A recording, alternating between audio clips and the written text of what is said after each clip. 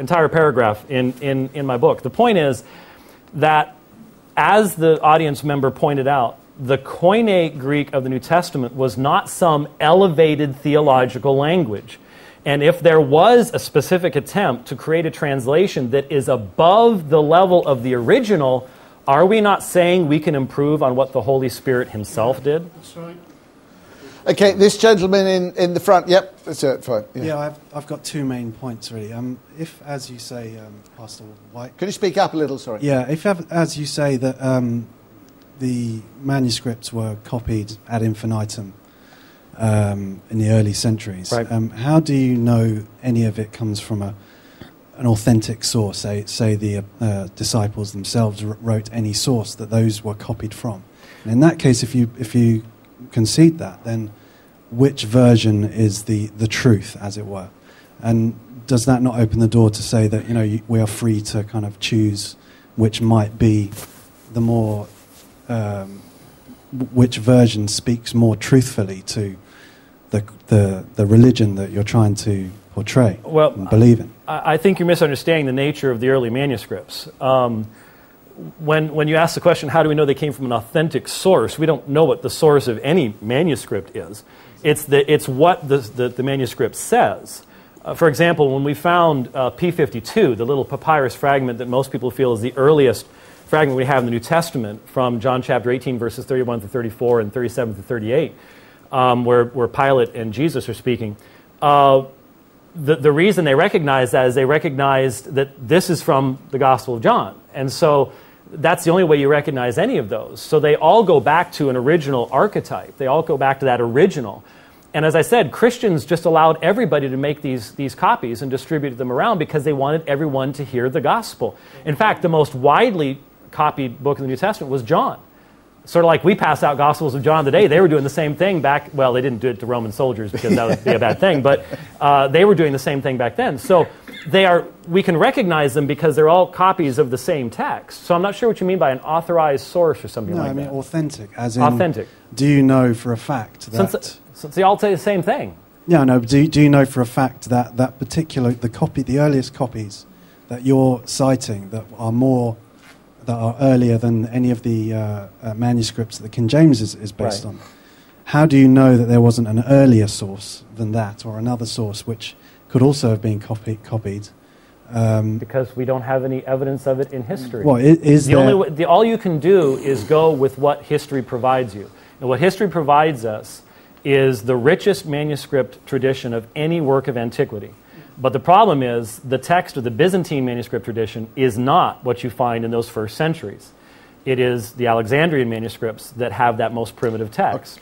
Can, can, I, can, Jack, can, I, can I just, well, can I just, uh, the, the point that was made that after the translation of, of, of the King James Version, Right. they say ma- manuscripts that were earlier were found, Yes. um, and they would give different to. That, That's In other right. words, they weren't ignored by the King James uh, translators; they didn't have them.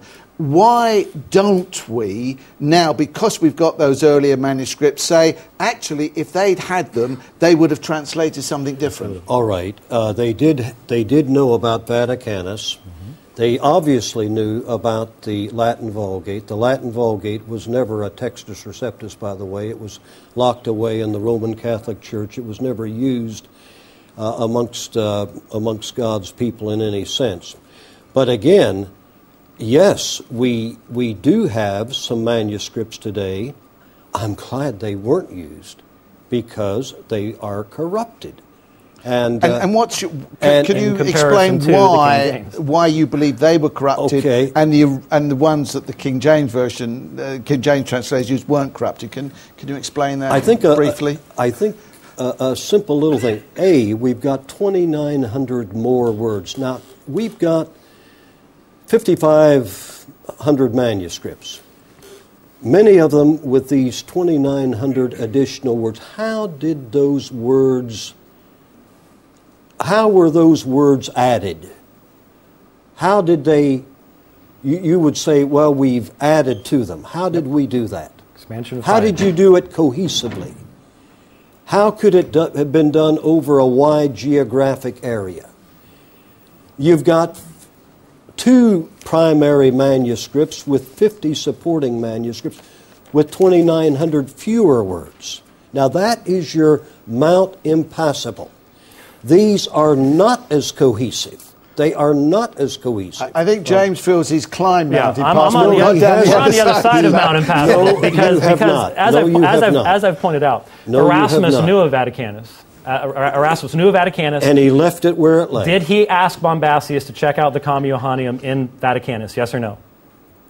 I don't know. He did. I, I don't know. He did, and he used it to support his non-insertion of it in the second edition. So the I point never- is, they I were aware of they were aware of it, and they they recognized that they did not know about text types that time. There was no rejection of these other manuscripts. They have been discovered since then, and I believe any fair reading of the preface to the readers would show that if those translators had the manuscript evidence we have today, they would utilize all of them for the oh. production of their text. Okay, let, let's, let's take one more question. Just- Going to take a few emails, and then I'm going to give you all about a, both a couple of minutes to sum up Okay. because our time will have gone. Yeah. Just a quick sort of statement. Someone mentioned on an email about not understanding the so-called hard words in the King James Bible.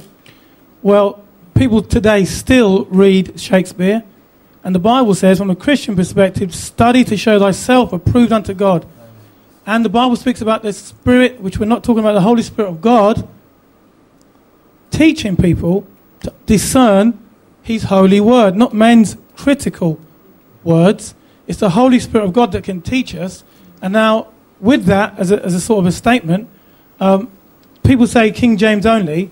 I am a King James only, but it's the definition of terms.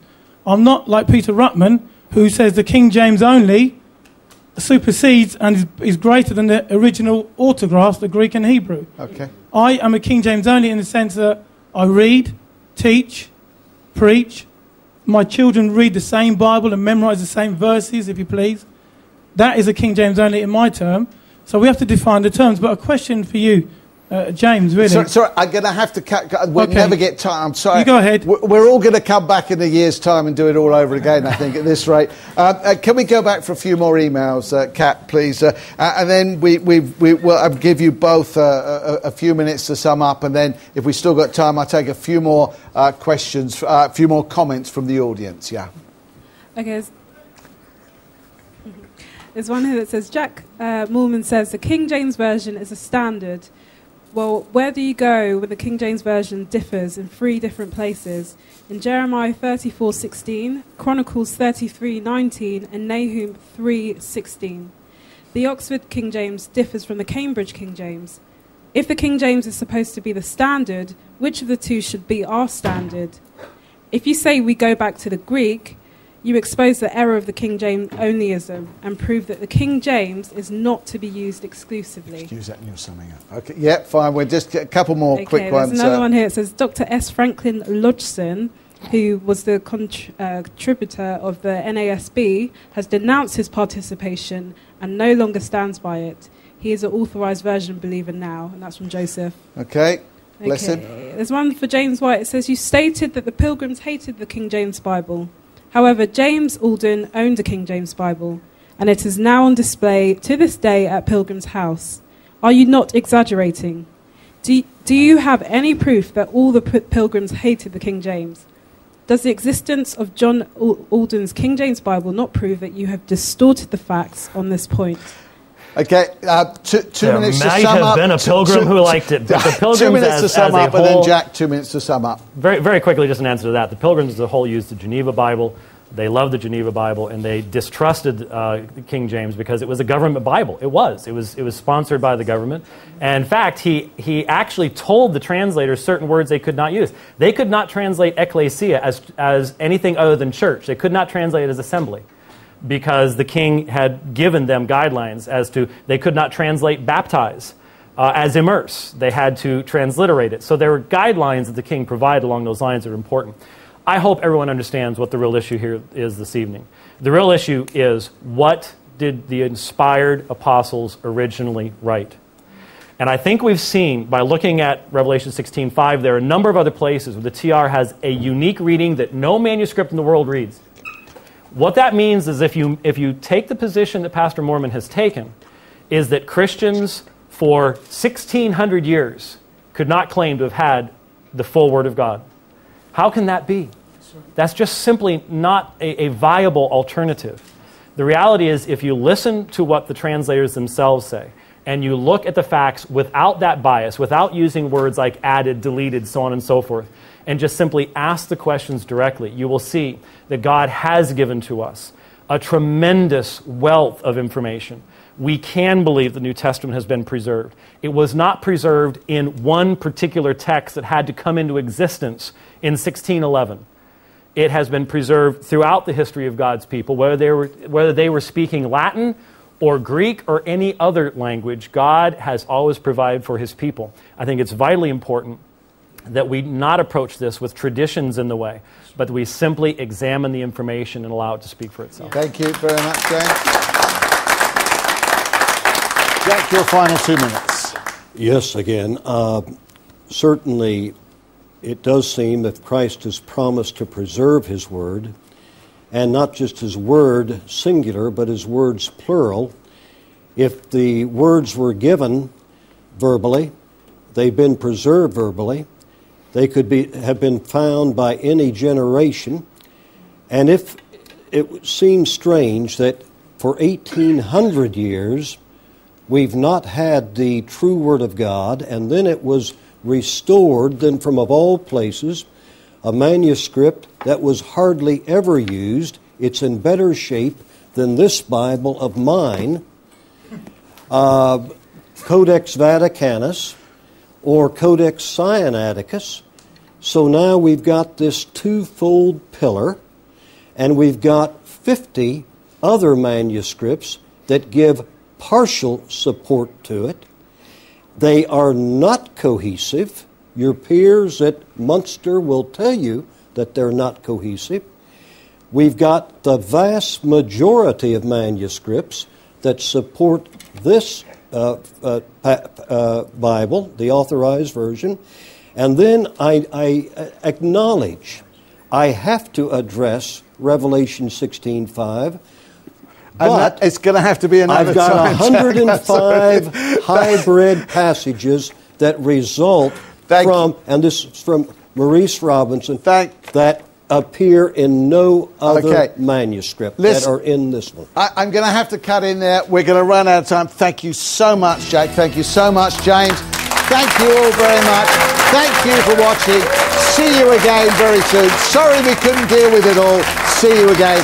Bye for now.